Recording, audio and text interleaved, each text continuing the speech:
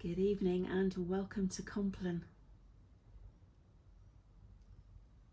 As we relax into our Heavenly Father's arms tonight, just take a few moments to watch Teddy Bear breathing. A slow breath in and out. Match yours to his as we calm ourselves tonight.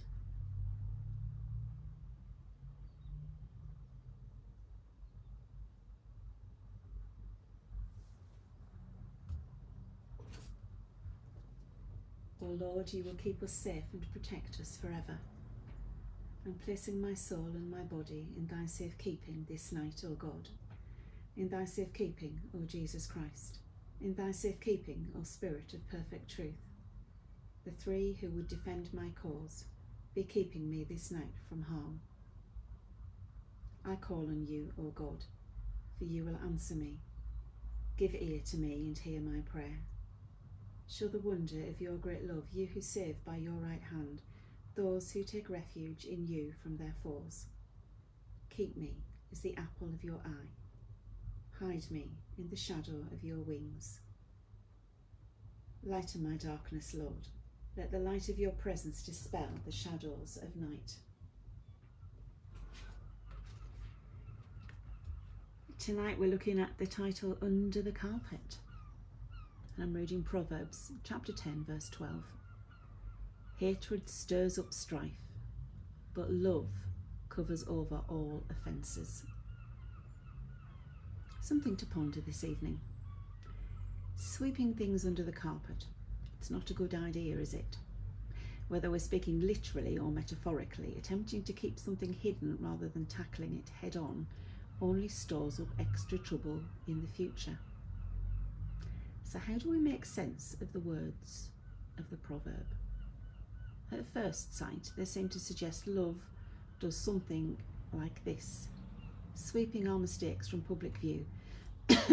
Excuse me, but this is only half the story. Leave it there, and our faults would always be lying beneath the surface, waiting to be dragged out and used against us at any time. Love is different.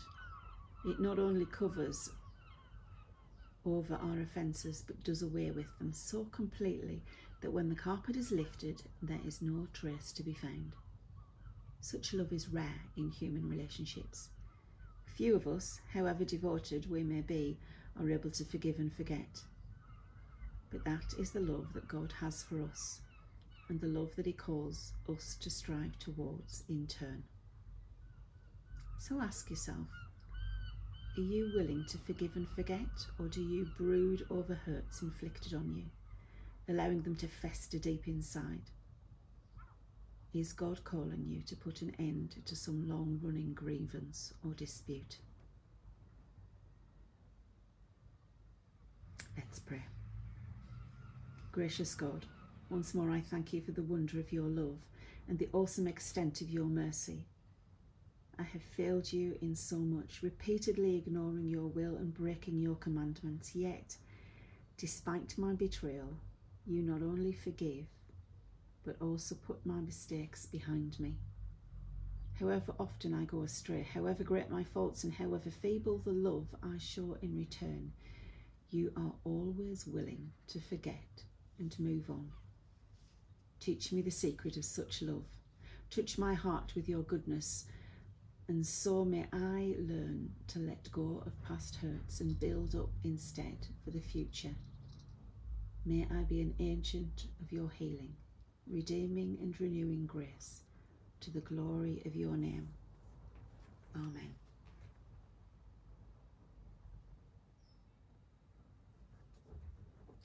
Christ with me sleeping, Christ with me waking, Christ with me watching each day and each night.